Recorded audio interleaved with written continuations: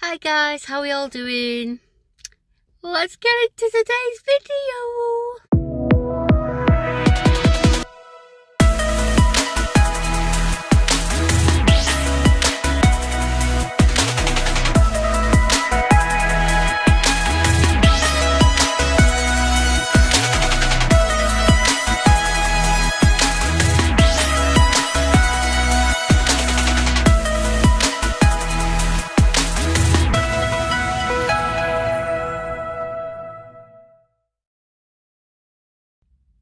Hi guys, so before I get into today's video, please don't forget to hit that like button, that subscribe button if you haven't already, and that notification bell because it helps with my algorithm and comment as well.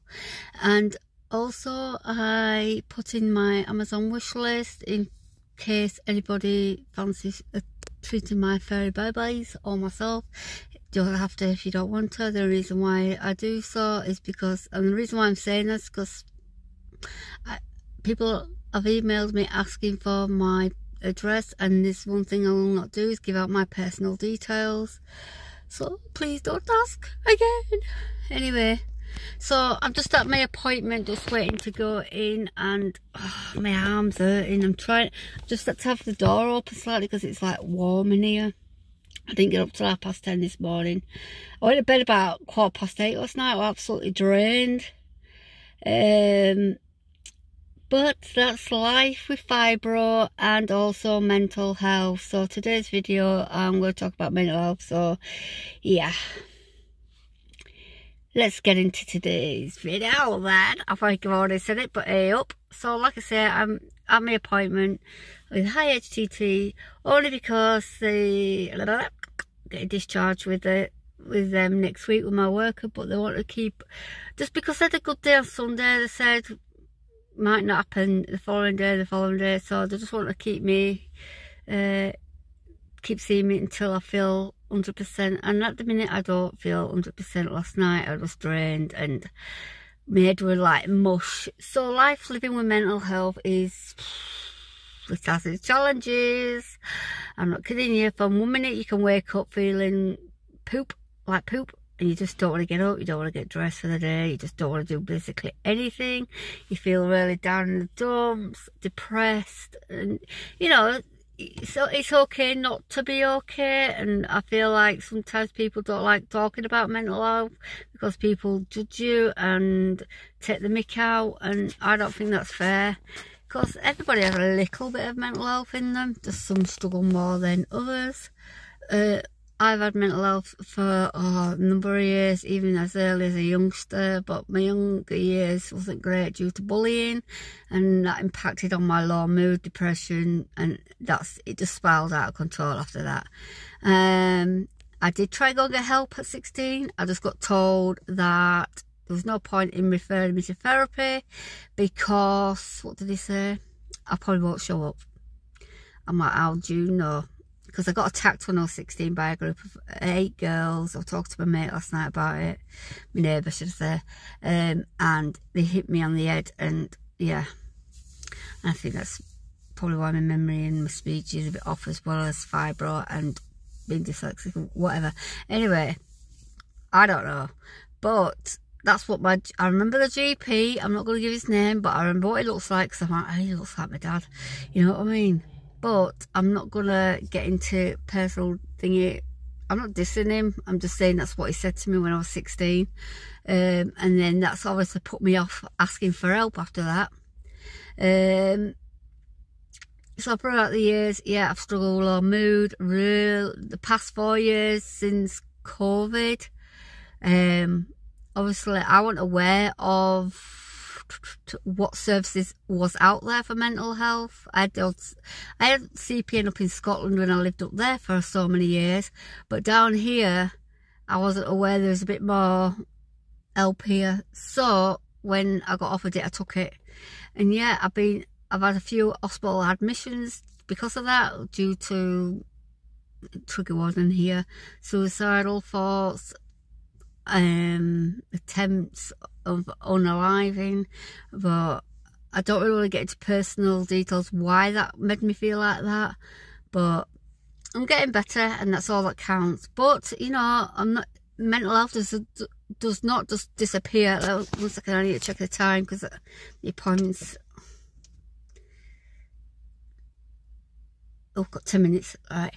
Um, so, mental health just doesn't disappear. It's, yeah, it might, it might improve over time where you feel stable. But like mine at the minute keeps creeping back, having a little at me, and then I, then I start feeling a bit okay again, and then it, it's like like what do I said it to one of the workers on Sunday. I said it's like sees me getting happy, and I want to do this and I want to do that, and it's like oh, it's creeping and go. No, you're not. Um, but my struggles have been like low mood, depression, PTSD. I've had a few flashbacks. I had a bit of a nightmare last night. And I hate it when you have those nightmares that you remember the following day. And most, and some of it was just to do with my car. And I think, because I was speaking about my car issues yesterday with my son, I think I dreamt about it. And it sounds stupid because I was like driving, I parked up on a curb, but both my front tyres were flat.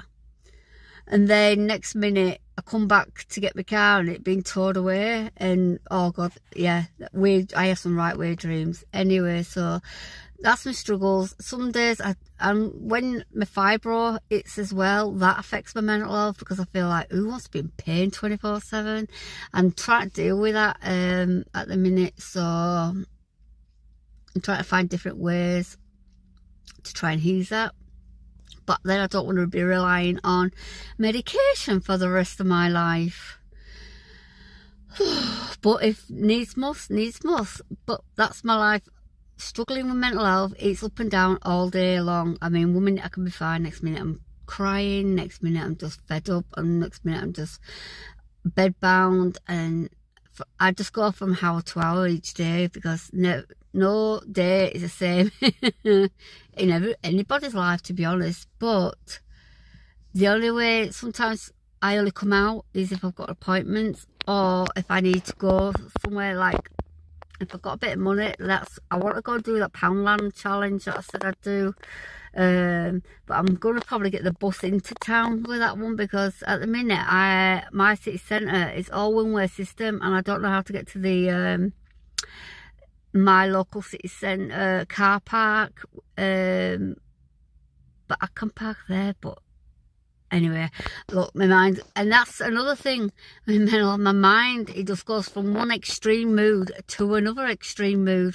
So I can be like happy, hey, la, la, la, to, you know, and crying. But when I'm at home, I try and put a brave face on so my kids don't see it because not, you know, that's something they don't want to see. So majority of the time I'm sitting in the room on my own. Sometimes they'll come in, watch a bit of TV, then bugger off.